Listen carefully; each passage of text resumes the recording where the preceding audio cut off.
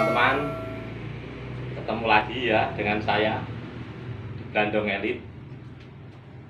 Seperti biasa Kali ini kita Masih dalam pembahasan tentang Tosanaji Hari ini kita akan membahas tentang salah satu dari fungsi pamor. Oke, salah satu. Ini dalam e, pengertian teknik tempa sebuah bilah tosan aji atau seni tempa sebilah tosan aji.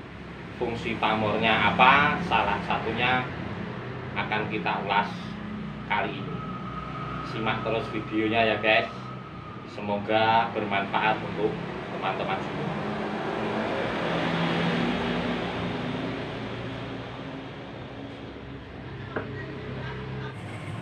Nah ini adalah beberapa bilah tosan aji yang dengan disertai pamor. Apa fungsinya? Mari kita ulas lebih mendalam dan semoga bermanfaat untuk teman-teman Nah, teman-teman, ini adalah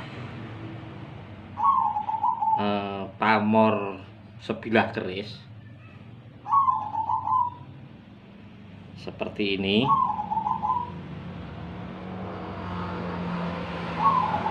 ya kali ini kita akan membahas fungsi daripada pamor dari sisi eh, teknik tempa logam.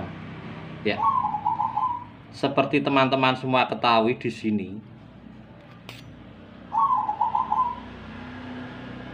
sebilah tosan aji ini nampak seperti berserat seperti pada kayu.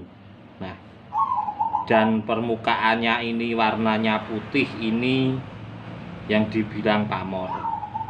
Dan tepi daripada tosan aji ini yang hitam ini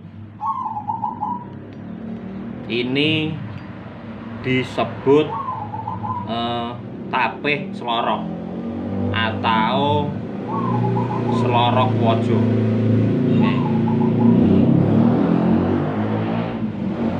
dahulu. Pengetahuan tentang metalurgi tentang teknik tempa bahwa e, sebuah baja itu mempunyai ketajaman dan kekerasan yang lebih dibanding logam-logam yang lainnya itu sudah menjadi pengetahuan umum sejak zaman dulu kala dan dengan sifatnya baja yang keras dan juga tajam itu baja juga mempunyai kelemahan yaitu eh, mudah patah.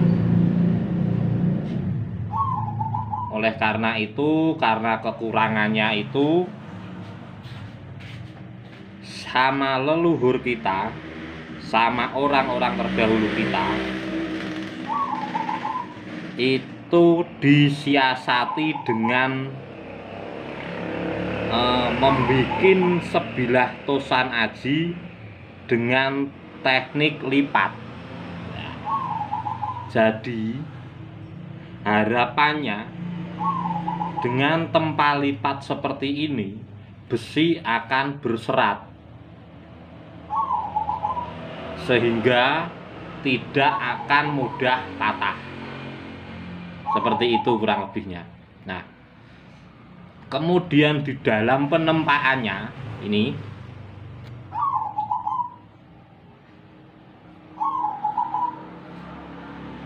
ya seperti ini setelah ditempa dan dilipat berkali-kali untuk mendapatkan efek tajam dan keras tapi juga tidak mudah patah. Maka penempatan selorok baja ini terdapat pada tengah-tengah bilah. Jadi begini setelah dilipat berkali-kali kemudian baru setelah pada akhirnya pelipatan terakhir dilipat menjadi dua dan dimasukkanlah eh, baja tipis di tengah-tengah lipatan. Kemudian ditempa lagi.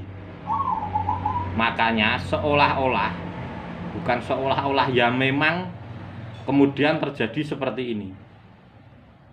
Bilah tipis ini tapis selorok atau selorok wojo ini dicepit atau dihimpit sama eh,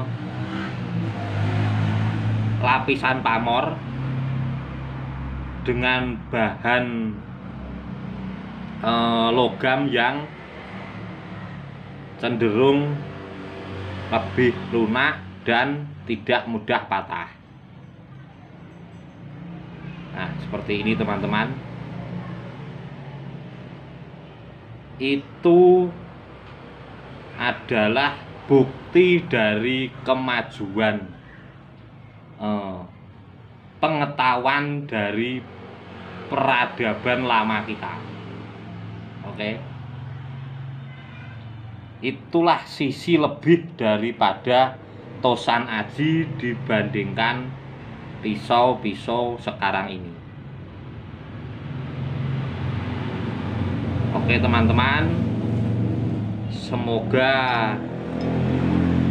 uh, videonya dapat memberikan uh, pencerahan yang baru pengetahuan yang baru bagi teman-teman semua.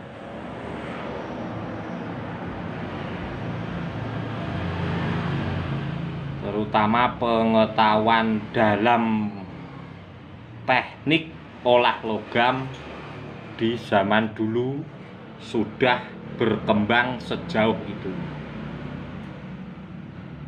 Oke, jangan mudah mensirik-sirikan keris. Jangan mudah eh, mengkleniisasi keris karena keris itu adalah warisan budaya kita. Oke, teman-teman. Selamat menikmati videonya. Kalau dirasa videonya berguna, teman-teman semua bisa membagikan eh, video ini. Jangan lupa di subscribe karena dukungan teman-teman sangat berarti bagi saya. Oke? Simak terus video dari saya. Salam sehat dari saya Blandong Eli.